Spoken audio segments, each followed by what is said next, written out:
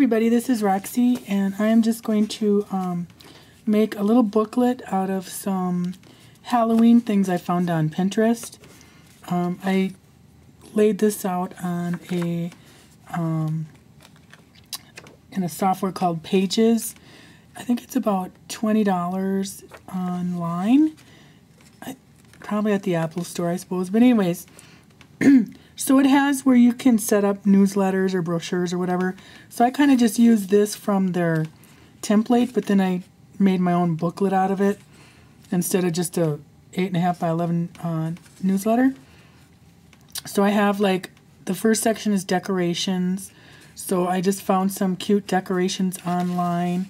I just made a template for the holes. I'm just going to sew this like as in bookbinding 101 and I'm not even going to get too crazy about it. I thought it'd be fun too if I have time to make some of these little booklets up for the um, the upcoming vintage sale that we have. And I thought, wouldn't it be fun for Christmas? And I mean, who doesn't love Pinterest? All the ideas are right there just waiting for us to scrap lift or as Steffi, what did Steffi call it? Scrapjack. like hijack? I think that's funny.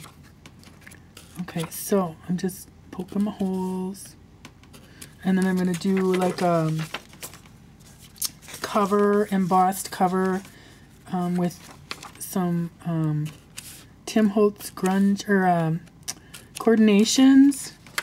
And one of my um, what you call it? Uh, what did we call it?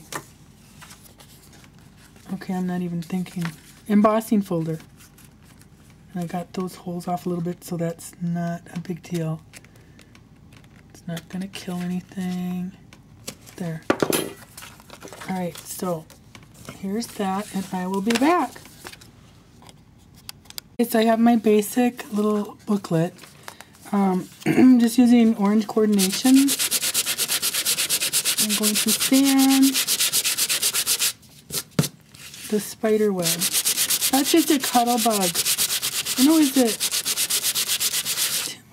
I don't know.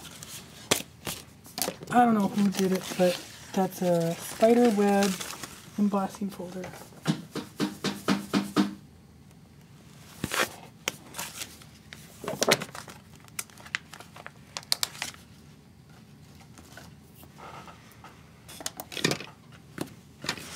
Then I have this little guy. That's a Tim Holtz. And I just did the part that said costume October Halloween trick or treat. And I can put that on the cover with one of these from the Graphic 45. I think I might use that one maybe or One of these cards are cute.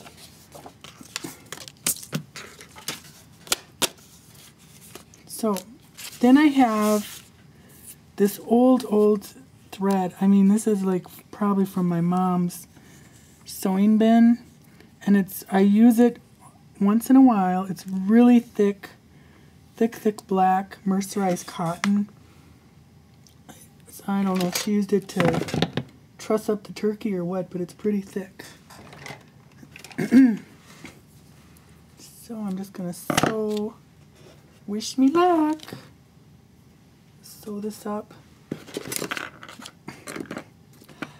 you know what I gotta do first? Just poke my holes. I had to put a middle piece in here because when I folded the Core'dinations, it tore a little bit, but I think it'll be okay. I think what I might do is put some glossy accents on that when I'm done. Just to reinforce it. So this will be tricky. Because I'm only going to do it, I'm not going to do it in any kind of fancy order how you're supposed to. So I know you're supposed to go this way and that way and in and out and whatnot, but we're just going to wing it.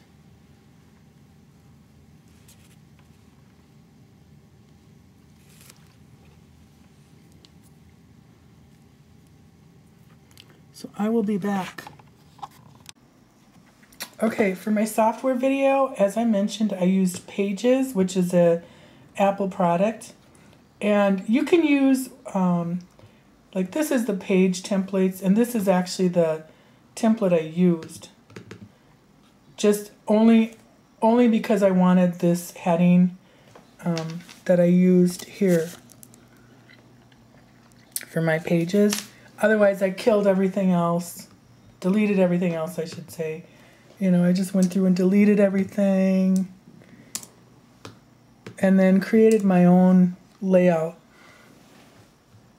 Um, this is, like I said, pages. You could also use um, Word Perfect or Microsoft Word, I mean, because they have templates too. So you can, you know, you could use a, kind of a newsletter format for your book, or as I did, um, I I'll show you how I set up my pages.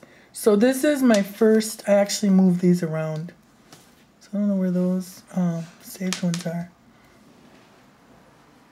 Anyways, so what I did is I created, this is, um, I created four plain boxes so I could divide the page into four sections. So that when I printed it, it would print out, this is uh, landscape, not um, vertical or uh, yeah, it's horizontal, not vertical. It's instead of portrait, it's landscape. So I, I wanted to um, print this out, and then I cut the paper in half this way, and then folded here. So as you can see, the first two pages are the um, party favor or decorations, and then then I go into treats, and I left the last page blank um, so if the person that receives it wants to put notes or paste their own um, project there, so I left those blank. And then the last page of treats have all four items on it. And then when I got to Cowgirls, okay, so like these two page, this page, I would print this page, turn the paper around, and print this on the other side. And then same with treats, print this page, turn it around, print the other side. And then with cow costumes, I did the girls on top, boys on bottom, printed that page, and then turned it around and printed this page on the back so that I still could cut across here and fold down here for my pages. So um, that was just a simple template. You could certainly do this, like I said, in Word and there's other, you know, design software. But if you have a Mac, 20 bucks for a design software is a steal. So here is my book. Let me just get this down here if I can. See how far I can go. Okay, that's not gonna, not a lot of light. So I'm gonna do it just like this. Okay, so here's my book. Um, again, I use the uh, embossing folder and um, Core'dinations. And I just have a little bit of um, little pumpkin bling.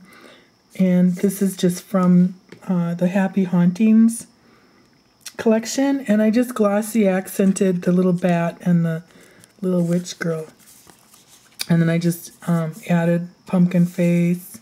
Those are just the cutouts from my another book I did. Uh, I cut out a pumpkin off the Cricut and here is um, are my pages.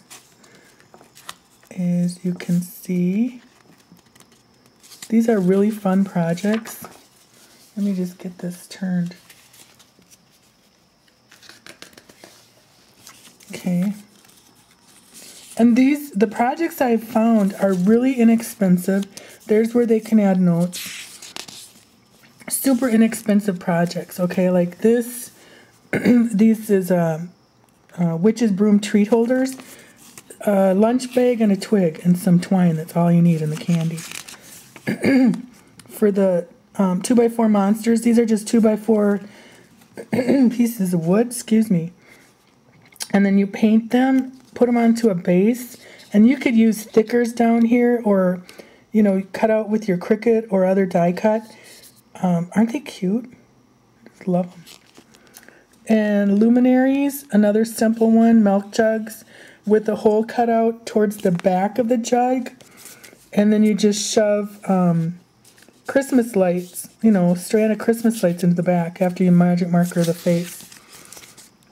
These I've made last year, and when people came to the house, they were so smitten with them that they wanted to take one home. And or I just gave them one to take home because they're so easy, so cute, and it's a piece of material wrapped around toilet paper roll. And then I used um, paper lunch bag. I twisted it up like a branch and it really looked cute. Or I think this is cinnamon sticks, so that'd be easy too. And then candy jugs, again, um, different bottle shapes, you know, plastic bottles. Eyes in the bushes, this is a dollar fifty project. You can just use your toilet paper rolls and cut out eyes. And then I bought some glow bracelets at Michael's for a dollar fifty in their fifty dollar fifty bins simple placemat. You can cut this out of construction paper or um, black paper or felt. And then I suggest um, if you do paper to cover it with contact paper. Okay, zombie cakes.